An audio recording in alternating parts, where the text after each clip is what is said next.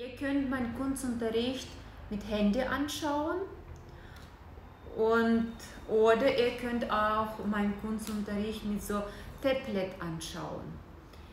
Mit Handy ist es sehr klein. Wenn ihr so ein Tablet, was etwas was größer ist, hat, wäre es besser. Ja, das ist mein kleiner Tipp zum Beginn.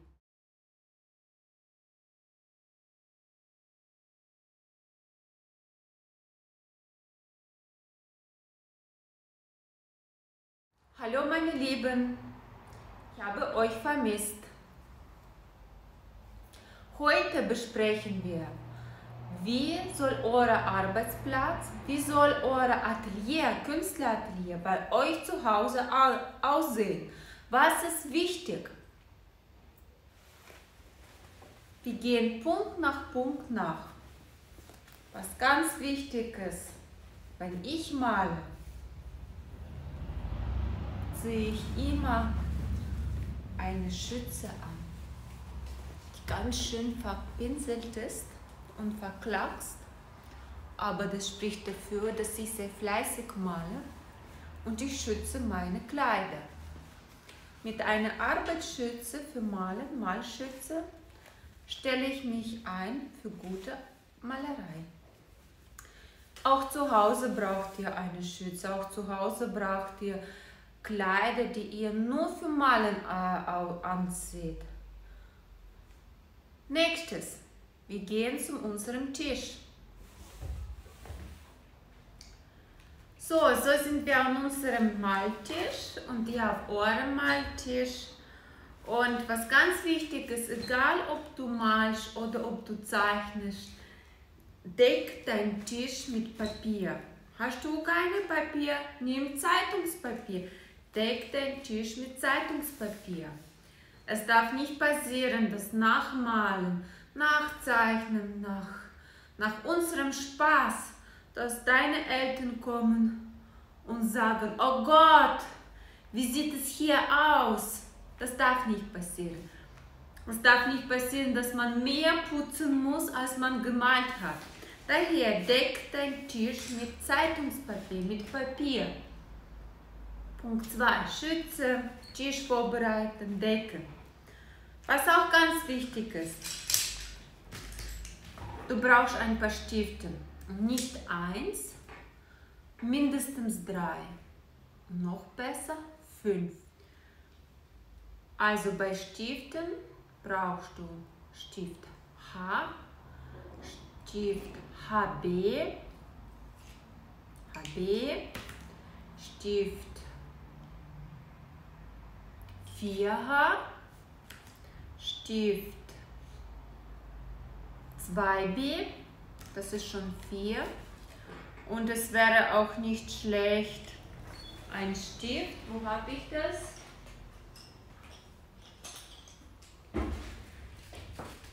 Ein Stift 5B oder 8B.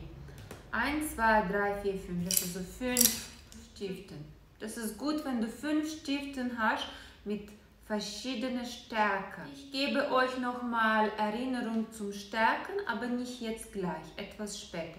Warum die Stiften haben diese Buchstaben? Das gehen wir mit euch nochmal nach, aber nicht jetzt. Also fünf Stiften mit verschiedenen Stärken und du brauchst Pinsel. Hier habe ich viel Pinsel, verschiedene Pinsel. Du brauchst nicht alle Pinsel, die hier stehen. Es ist immer gut, mindestens drei, noch besser fünf Pinsel zu haben. Zum Beispiel meine Lieblingspinsel, diese Pinsel, die da, das ist vier Stück. Meistens arbeite ich mit denen. Ich zeige die äh, euch noch gleich näher. Da sind die. Alle in verschiedene Breite. Dünn, rundlich, dicker, bisschen weniger dick. Natürlich, es gibt noch so Pinsel wie diese Pinsel. Die sind ganz anderes, die sind ganz, die sind ganz weich und die sind anderes. Unsere Acryl- und Gouachefarben, äh.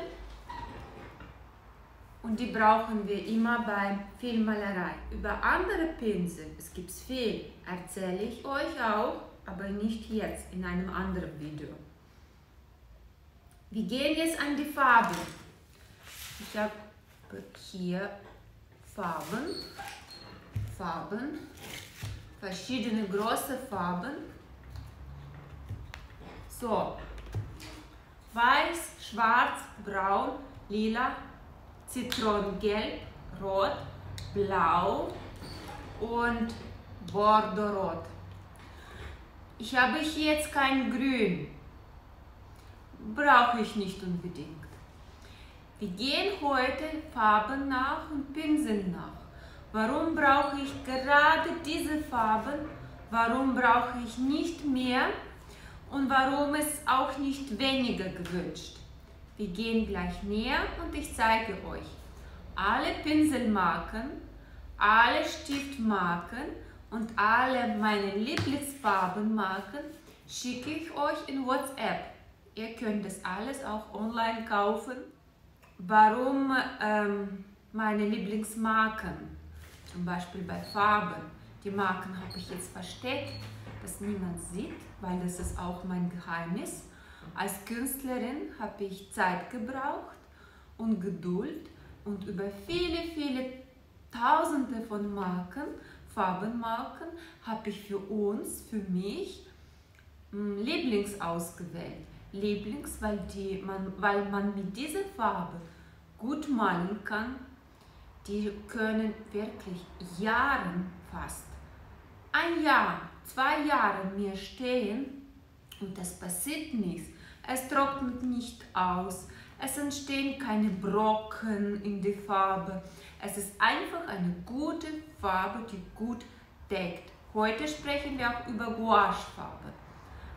Gouachefarbe ist eine Farbe, die sehr gut und leicht aus Kleider weggeht, aus Haut, aus Tischen und, daher, und man malt mit dieser Farbe sehr gut. Das ist schon auch eine alte Farbe, traditionelle Farbe. Viele Künstler haben mit dieser Farbe gemalt. Man kann sehr gut lernen mit dieser Farbe und man kann auch als professioneller Künstler auch sehr gut mit dieser Farbe arbeiten. Ich finde, diese Farbe ist leichter für zum Lernen als Acryl. Es trocknet nicht so schnell aus zum Beispiel. Daher empfehle ich Gouache. Zu Hause, wo alles man auch mal abwischen soll, am besten passt gut Gouache. Wie gesagt, die Farbe habe ich mit Jahren geprüft, ausgewählt und die Marke finde ich gut. Die schicke ich euch auch per WhatsApp persönlich, damit dass wir hier keine Werbung machen. Ich gehe mit Kamera näher. Die Farben stehen auch hier. Die sind echt groß. Macht dir keine Sorge, dass es groß ist. Es reicht für lange und viel. Um Farben zu mischen, braucht man immer mal Papier. Du kannst Papier haben, wo du Farben mischt. So Palette nennt man das. Oder du kannst zusätzlich nur eine Palette haben. Ist auch sehr praktisch. Es ist Plastik, man gut, kann gut abwischen. Ja, falls du das nicht hast, du kannst eine weiße alte Telle nehmen. Eine einfach weiße Porzellanteller, das wird auch gehen. Nur hier kann man sehr schön Farben reinmachen.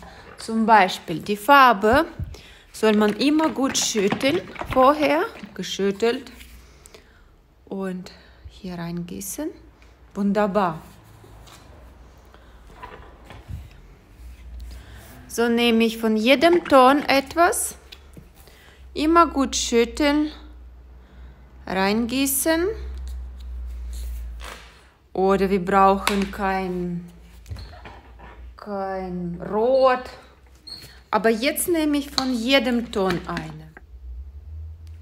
Ich empfehle euch mitzumachen, egal welche Farben ihr jetzt habt. Weil wir machen jetzt auch ein kleines Übung. Also das ist jetzt lila. Kommt braun. Wieder schütteln. Das Einzige, was mit Farbe passieren kann, dass die Farbe ein bisschen sich trennt von Wasser. Äh, genau, und dass das Farbe wird unten und Wasser ein bisschen oben und plötzlich aus Tube fließt Wasser. Nicht erschrecken, es passiert. Aber wenn man ähm, mischt so, dann vermischt sich gut und dann passiert es nicht, dass das Wasser fließt. So sieht es wunderbar aus. Es gibt sogar Platz für zu mischen. Es ist blau, es ist Zitronengelb, es ist rot, es ist Bordeaux, es ist lila, braun, schwarz und weiß. Ich nehme meinen mittleren Pinsel. Marken für Pinsel sende ich euch auch noch separat. Und die Pinsel sollen von Qualität für Acryl oder Gouache, für Gouache oder Acryl sein. Das steht immer in Pinselbeschreibung. Wir haben Wasser und man braucht immer eine Lappe. Ihr habt bestimmt zu Hause alte T-Shirt. Wichtig ist, dass es alt, aber sauber ist und da kann man gut Pinsel abwischen, so ganz gut abwischen. Ich zeige euch, warum brauche ich nicht mehr Töne. Ich finde, dass wir, dass ein Künstler ist selbst Koch für seine Farben. Ein Künstler bestimmt selbst, welche Farben will er mischen, damit kochen und welche Farbtöne will er bekommen. Ein Künstler braucht nicht unbedingt vorgefertigte Farben von Industrie. Zum Beispiel Gelb. Ich möchte für meine Zitrone, da ist die Zitrone, schnell gemalt, gelb haben.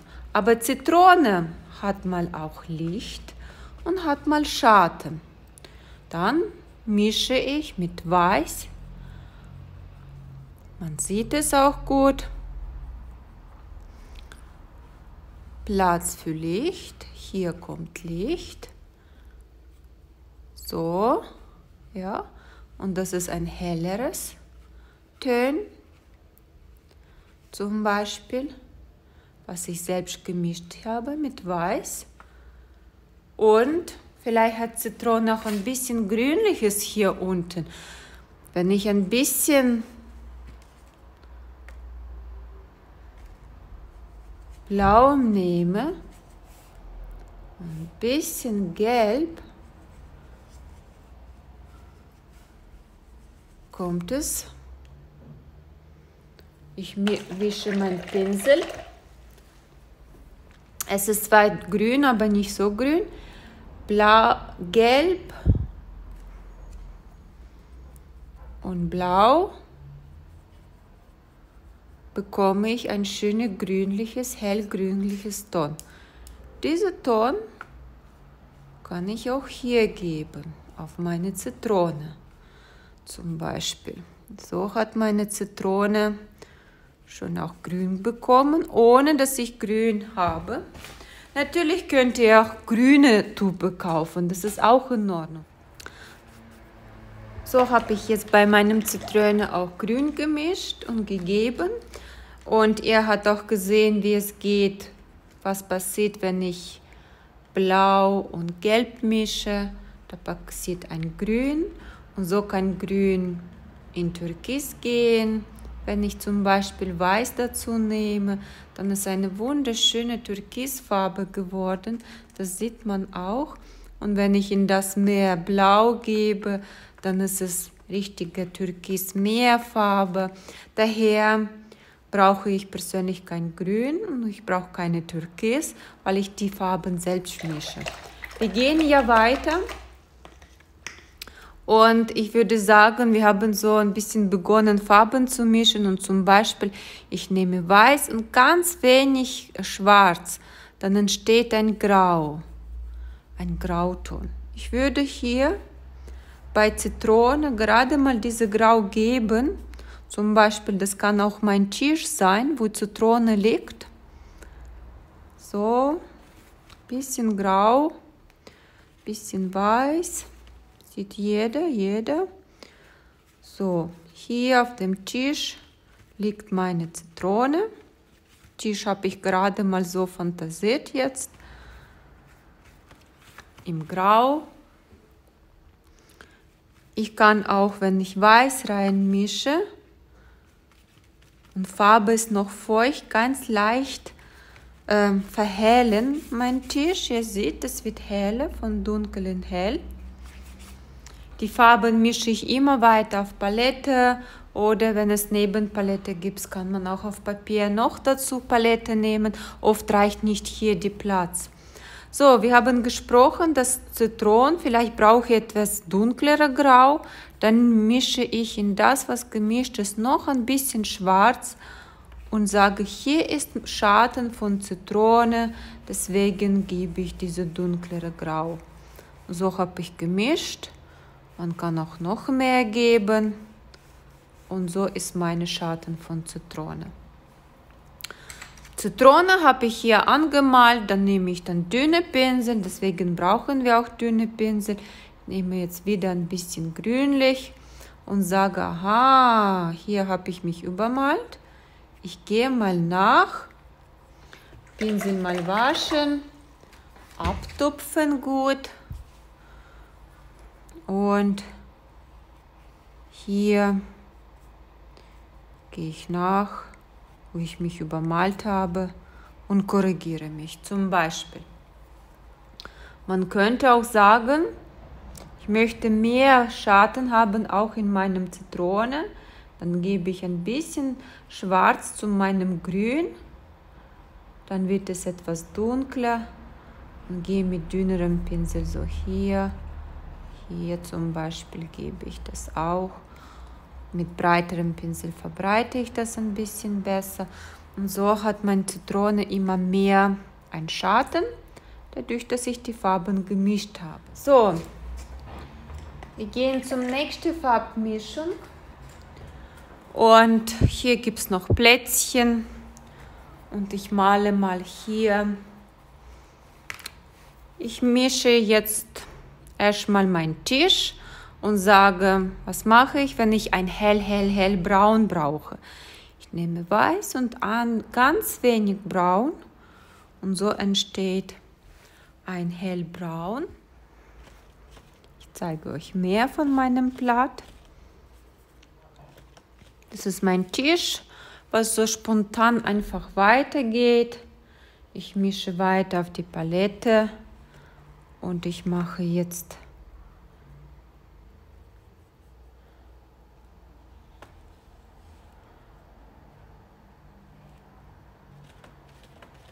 So.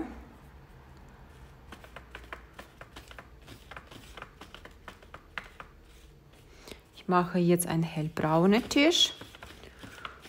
Das ist vielleicht Holz zum Beispiel. Und auch auf diesem Tisch, hellbraun, lege ich jetzt zum Beispiel einen Apfel. Immer gut Pinsel abwischen und abtupfen. Zum Beispiel ein Apfel. Da ist ein Pinsel. Ich male mir den Apfel nicht mit Stift.